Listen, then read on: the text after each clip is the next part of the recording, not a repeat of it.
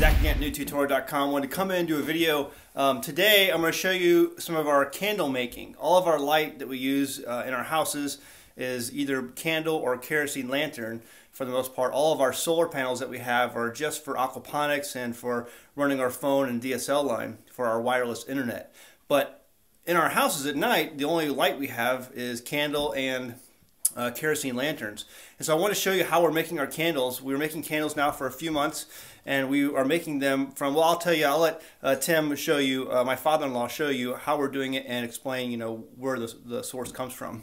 So uh, what do we have? All right, well, the first thing we've got to do is we make our, uh, hammer We have palm oil. And we got to break up the palm oil. We get big chunks of it like that. Okay, we get a close up of that. So, uh, this is pure palm oil. Palm oil. It's not like the palm oil you buy on the stores that's been crystallized so it, it pours and cooks easy. Yeah, this is the hard stuff. Yeah, it's the hard. It melts at 95 degrees. Okay. Then I put it on the stove. I've already got this one done. Okay. And melt it out. Fire going good.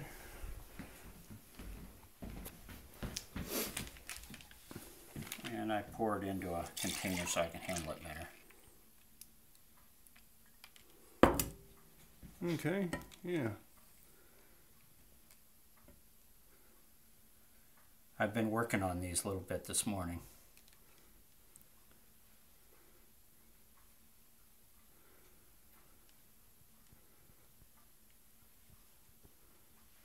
We're just using old mason jars, it looks like, and yeah. Um, we've been using like old fruit jars, like you, you buy fruit jars at the store with some um, fruit preserves in them. You take those and we turn those into uh, candle holders as well. There's lots of different things you can use uh, to make the candles. I lost my wick. Uh oh.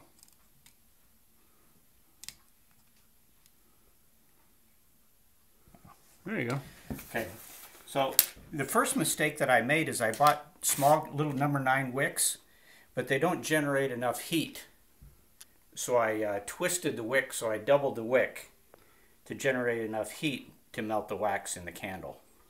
The, the, next batch I bought was a number 16 wick, and they, they do a much nicer job with making a flame. The smaller the wick, the less the flame you have. So the, this is one that we're still using. And it gives an it gets that uh, wax melted, gets a nice big flame. Hmm. Very good. And here's a big one that I made earlier. Yeah. And so we have these all around our houses, and we use these um, basically at night with our kerosene lanterns. We have our kerosene lanterns. I'll give you a quick picture here. Here's one there at night. And so um, what we're doing is just using these in conjunction with those, and these provide light for all, all around the house. We keep them in our kitchens and in the living room and even in the bedrooms if we need them, and uh, in the bathroom along with the kerosene.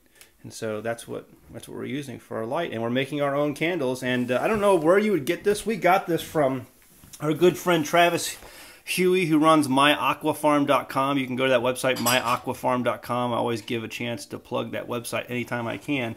Uh, he brought these to us and said, hey, you know, take these and, and use them for candle making or for maybe some other things, but I think candle making was his real intention on giving these to us.